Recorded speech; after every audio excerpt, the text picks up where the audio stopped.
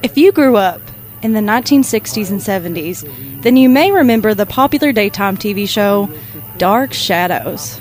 Almost all the episodes had a seance scene with a Ouija board where someone was always trying to contact the other side, and as expected, some supernatural occurrence would then take place.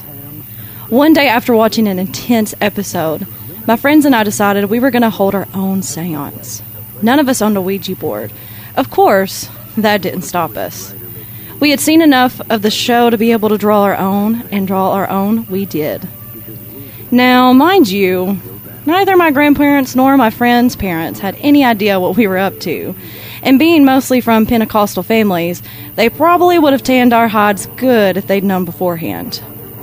We all sat on the hardwood floor of the back bedroom with the Ouija board right in the center of us, and we all held hands and began. We had discussed our program at length especially since we were going to ask if I was going to marry the love of my eight year old life, Tim, if Dina was going to get the bike she wanted for Christmas, and if Shala was going to get to see her daddy soon. Furthermore, we were going to summon a son from Shala's dead uncle, who had gotten killed by a train a few years before.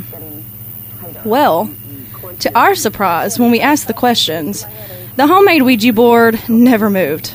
That is, until we began summoning Shala's dead uncle.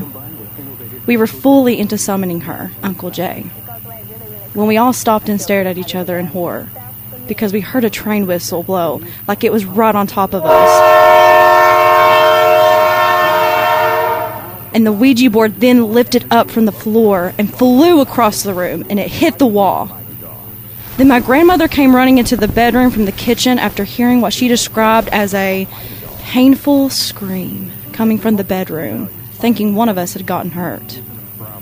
What she found there was three totally terrified and crying hysterical eight year olds and nine year olds, hugging each other like we were going to be taken away by some supernatural force, and a piece of cardboard laying by the wall across from us. Needless to say, our dark shadows watching, it ended that day.